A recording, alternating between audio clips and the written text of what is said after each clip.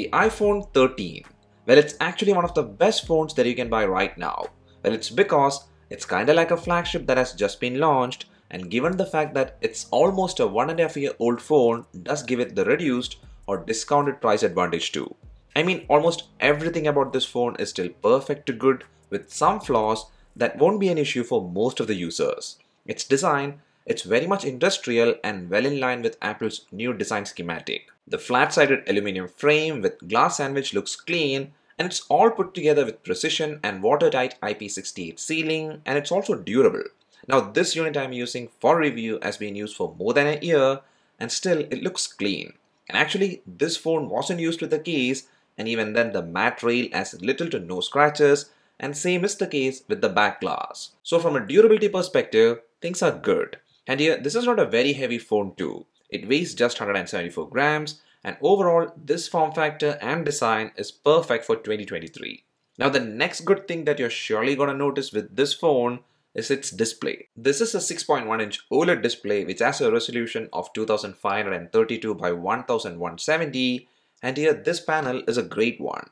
Its peak brightness is more than sufficient for outdoor usage and overall I'm totally happy with the quality of this panel.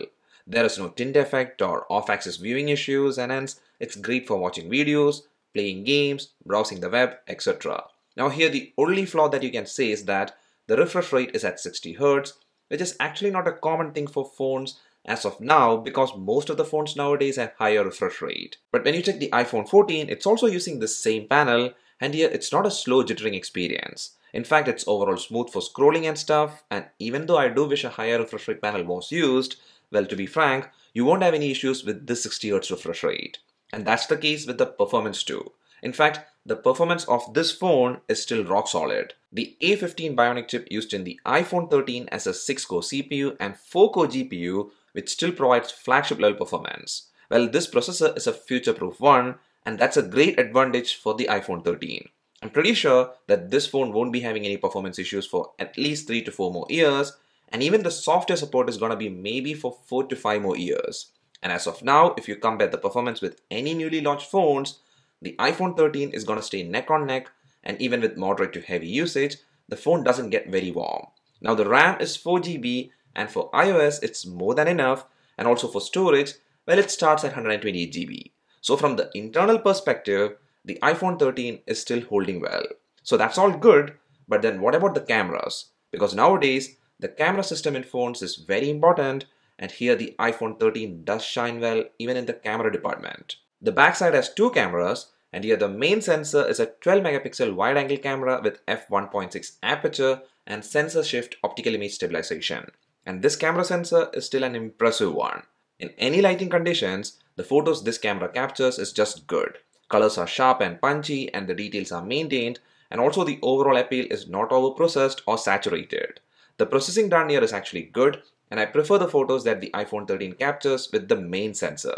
And actually, even if you compare with any newly launched phones, a quick snap does look very similar. So the main camera is a solid one for photos and in fact it's the best for video recording. You can record 4K 60fps crisp and stable videos and here the output is just great. Well when you compare with the iPhone 14 series, well in the video side you're not gonna get action mode and also higher resolution cinematic modes but those stuff are actually rarely used by majority of users and hence this main camera is still one of the best for photos and videos. And also the 12 megapixel ultra wide is a decent one too if the environment is not so dull lit. And here this ultra wide camera's flexibility is something I prefer to use for capturing landscape shots. Now while moving to the front camera in this notch, well it's also a 12 megapixel camera which has f2.2 aperture and this camera does take pretty good selfies. It is a fixed focus camera but here the output with both photos and videos is good. In fact the video output is so good such that you can even do a bit of vlogging with it. So overall, this camera package in the iPhone 13 is still pretty strong for 2023.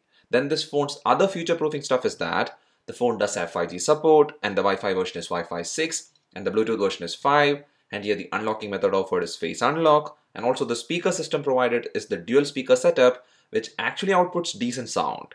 And finally for the battery, well the capacity is 3240 mAh and from my usage which is a moderate to heavy style, I was getting approximately 6 to 7 hours of screen on time.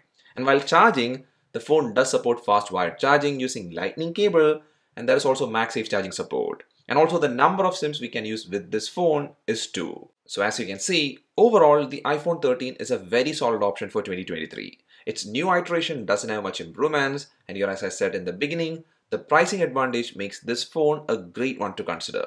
In India, the official starting price is approximately 70,000 Indian rupees, but you can actually get much better deals and even a second-hand version can be grabbed for a greater price. So from that perspective and everything that this phone offers, well as of now, it is one of the best phones to pick. That's all for this video. Hope you liked it. If so, a like is much appreciated.